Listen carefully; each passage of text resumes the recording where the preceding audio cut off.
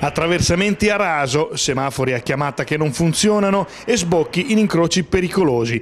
Più che una pista ciclabile per il Movimento 5 Stelle di Fano, la pista ciclopedonale Fano-Fenile presenta diversi punti di elevata pericolosità. Sindaco ormai da, dal 2015 che dice che questa pista sarà terminata a Pasqua però probabilmente giustamente non ha detto l'anno di preciso quale sarà, di quale, di quale, Pasqua sta parlando.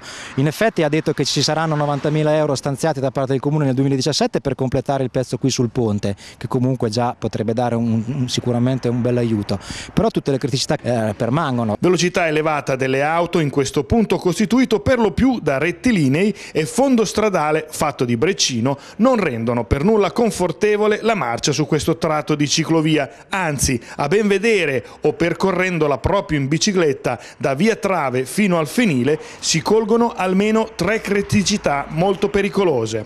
Partendo quindi dalla frazione di Fano si arriva subito alla prima delle criticità, il cavalcavia dell'autostrada. Qui ad esempio dobbiamo fermarci e dover attraversare per andare sul ponte che scavalca l'autostrada in un punto pericolosissimo in piena curva senza strisce pedonali e quindi a discapito proprio della propria incolumità. Una volta superato bisogna nuovamente attraversare la strada per riprendere la pista e di sera e con le macchine anche che vengono giù a una velocità abbastanza sostenuta non è l'operazione più sicura al mondo.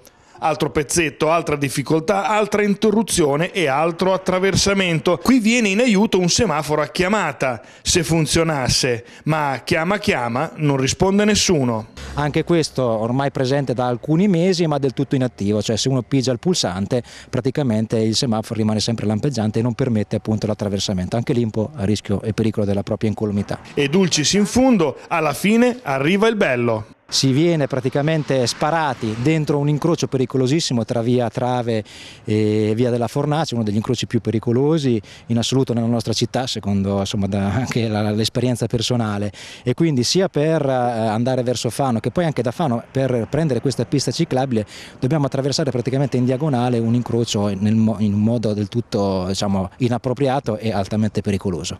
Chiediamo a questa amministrazione di occuparsi dei reali problemi dei cittadini di Fano, compreso questo, che sembrano piccole questioni ma sono questioni invece rilevanti e che riguardano la sicurezza, una mobilità che sia sostenibile e se parliamo tanto di Fano città dei bambini facciamo in modo che lo diventi veramente, non restino solo parole vuote. Insomma.